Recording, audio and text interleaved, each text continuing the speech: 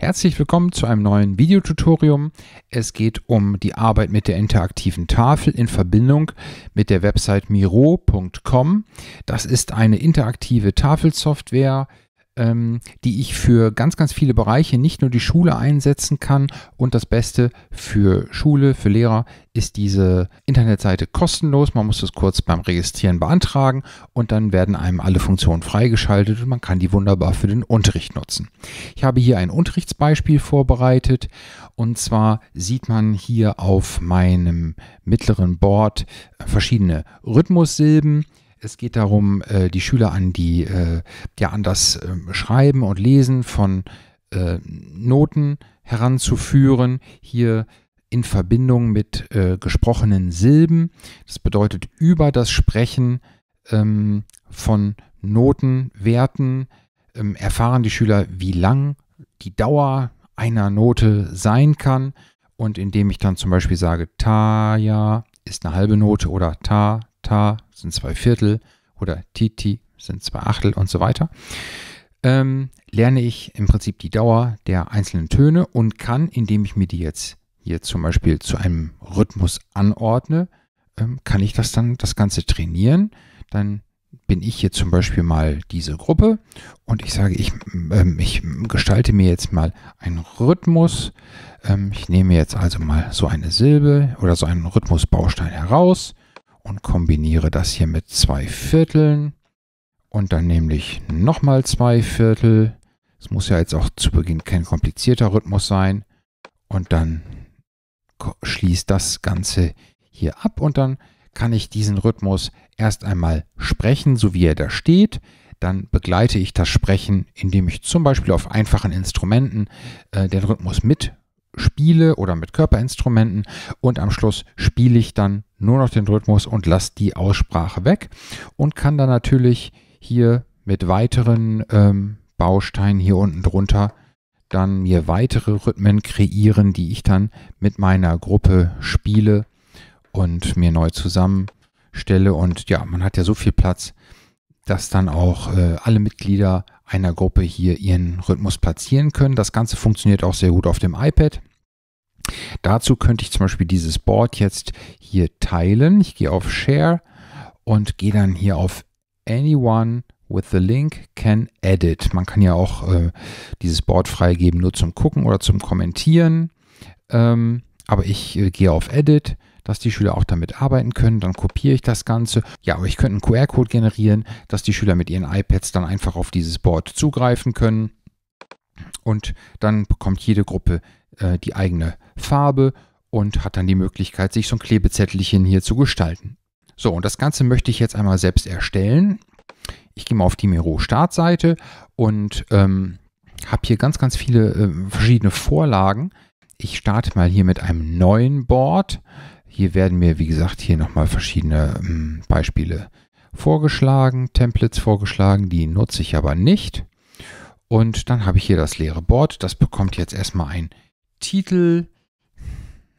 Das nenne ich jetzt einfach mal Silben. Zack, fertig. Dann kann ich mir hier noch ein Gitter einblenden. Das ist eigentlich auch immer standardmäßig eingeblendet. Ich habe mir ähm, mit GoodNotes diese Rhythmusbausteine gezeichnet und hier dann auf dem ähm, Desktop abgelegt.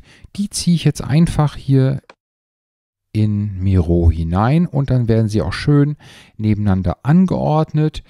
Ähm, ich brauche natürlich nicht nur von jedem Baustein eins, sondern mehrere und dann kann ich einfach mit der Funktion Copy und Paste mir hier Kopien erstellen und die platziere ich jetzt einfach hier unten drunter. Man sieht an diesen kleinen Linien, die entstehen, wenn ich das Ganze bewege, dass äh, mir auch anzeigt, wann die genau untereinander stehen. Und das Ganze sieht dann auch sehr sorgfältig aus. Ich kann auch zum Beispiel hier den Abstand nach oben äh, dann auch nochmal genau definieren, so dass ich hier also wirklich ein ganz tolles Raster bekomme. So, und das mache ich jetzt einfach ein paar Mal. So, das reicht jetzt erstmal. Ich kann natürlich auch hier alle kopieren und dann geht das Kopieren natürlich noch viel schneller. So. Okay. Jetzt brauche ich die Arbeitsflächen, ähm, damit die Schüler damit arbeiten können. Und da habe ich mich jetzt mal für diese kleinen Klebezettelchen äh, entschieden, die man ja auch so aus der Seminararbeit kennt. Ich nehme jetzt einfach mal diesen hier. Und ähm, dieser Klebezettel, der kann unterschiedliche Größen haben, je nachdem. Der ist eigentlich dazu gedacht, hier etwas hineinzuschreiben. Aber ich benutze ihn jetzt einfach nur, weil es schön aussieht. Den kann ich jetzt hier in der Größe anpassen. So groß soll der sein, damit ich auf jeden Fall vier nebeneinander bekomme. Den platziere ich jetzt einfach mal hier. So. Okay, dann soll das noch eine Überschrift bekommen. Ich nenne den jetzt mal einfach Gruppe 1. Gruppe 1. Wenn mir die Schriftart nicht gefällt, kann ich hier natürlich aus ganz, ganz vielen verschiedenen äh, Schriftarten wählen. Die hatte ich mir schon im Vorfeld ausgesucht, die gefällt mir ganz gut. Und hier kann ich dann auch entsprechend die Größe einstellen, sodass das ganze Ding auch vernünftig hier aussieht. Dann platziere ich das einfach mittig auf meinem Klebezettel und das war's. So, jetzt ähm, probiere ich das mal aus. Ich nehme mal so ein, so ein kleines Klebezettelchen und dann sehe ich, oh, das Ganze verschwindet hinter meinem Klebezettel. Das möchte ich natürlich nicht. Das liegt einfach daran, dass ich zuerst diese Zettelchen, diese Bausteine erstellt hat und im Nachhinein habe ich diese ähm, Klebezettel oben drauf gelegt. Und das ist dann ähm, ja wie bei einem Papierstapel. Es gibt Dinge, die liegen unten und andere liegen oben. Wenn ich möchte, dass das als Hintergrund dient, ähm, markiere ich mir das Ganze, rechte Maustaste und gehe auf Send to Back. Dann wird das Ganze eine Ebene nach hinten platziert und jetzt kann ich hier meine anderen Bausteine oben drauf legen. So, das lasse ich so. Ähm, was ich jetzt noch mache, damit ich nicht, damit die Schrift nicht stehen bleibt, wenn ich den Klebezettel verschiebe, ähm, markiere ich beides und dann gibt es hier so einen ähm, Button Group Objects, das heißt, die werden jetzt miteinander verbunden und jetzt ähm, kann ich beides immer verschieben. Und das letzte, was ich tue, das ist hier das Schloss anklicken, Lock. Das bedeutet, wenn die Schüler hier also draufklicken, dann bleibt dieser Klebezettel äh, immer an dieser Position. Ich kann jetzt machen, was ich will. Der lässt sich jetzt nicht mehr verschieben. Und wenn ich jetzt hier auch noch auf diesen Button klicke, dann bedeutet das, dass nur ich diesen ähm, ja, diesen Verschluss sozusagen rückgängig machen kann. Also jeder, der den Link zu diesem Board hat, kann das also nicht versau versauen, sondern das bleibt jetzt immer so hier stehen. Okay. Ich muss jetzt den Log nochmal wieder rausnehmen. Und zwar kann ich jetzt auch Copy und Paste machen. Und dann habe ich eine, ein Duplikat. Das kommt gleich hier unten drunter.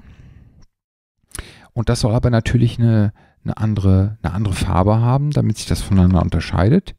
Ich muss jetzt also nochmal vielleicht einmal hier den Text ändern und kann dann, wenn ich hier auf diesen Hintergrund klicke, suche ich mir eine andere Farbe aus und dann hebt sich das Ganze auch schon voneinander ab. So, also hier gruppiert ist es noch. Ich schließe das Ganze ab und auch hier abschließen. Wunderbar. So, jetzt kann man das also nicht mehr ähm, verändern. So, das kann ich jetzt auch noch für äh, weitere Zettelchen machen. Ähm, hier die noch platzieren. Und ähm, ach ja, auch hier bei dem zweiten muss ich auch dran denken, ähm, zu sagen, bitte send to back, dass ich also hier oben drauf arbeiten kann. Ja, und jetzt auch hier kann ich noch das Grid ausblenden, wenn mich das stört. Und dann gehe ich auf Share anyone can edit, copy board link und fertig. Ähm, ich gehe jetzt mal hier auf ähm, den Kids-Blog. Da finde ich die Tools QR Storage. Und dann gebe ich hier einfach mal den Link zu meinem Board ein. Und dann habe ich hier einen QR-Code und diesen QR-Code äh, kann ich mir runterladen. Ähm, und dann kann ich den Kindern das im, oder den Schülern geben. Und die können dann direkt auf dieses Board zugreifen. Eine weitere Funktion möchte ich noch ergänzen. Und zwar kann man hier mit ähm, dem Formen-Tool auch noch, ähm, ja, zum Beispiel für solche Felder hier auch schöne Hintergründe erstellen. Ich ziehe mal hier so ein Rechteck mit abgerundeten Ecken auf. Dieses soll auch farbig werden. Ich nehme mal eine dezente Farbe. Ja, oder auch nicht. Nehmen wir diese. Dezente Farben gibt es hier nicht. Ich könnte das dann auch sogar transparent halten. Das Ganze soll einen Rahmen bekommen. Ähm, nehme jetzt einfach mal schwarz und sage, mach mir mal eine etwas dickere Linie. Ja, das könnte ich jetzt auch noch stricheln oder punkten. Ich lasse das mal so bei einer durchgezogenen Linie. Und jetzt sehe ich natürlich, dass das meine, meine Bausteine verdeckt.